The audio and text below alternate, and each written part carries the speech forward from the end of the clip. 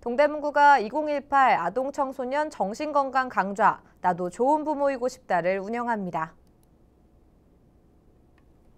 오는 6일 오전 10시 20분부터 12시까지 홍릉문화복지센터 4층 교육장에서 사전 신청한 주민을 대상으로 강좌를 진행합니다. 반건호 경희대학교 병원 소아청소년 정신건강의학과 교수가 강사로 나서며 제1강 설레는 봄 고된 여름, 제2강 연근은 가을 기다림의 겨울, 제3강 나의 계절은 강의를 통해 참석자들에게 아동 청소년이 성장 시기별로 직면하게 되는 문제들을 설명하고 그 문제들에 대한 해결 방안을 제시합니다.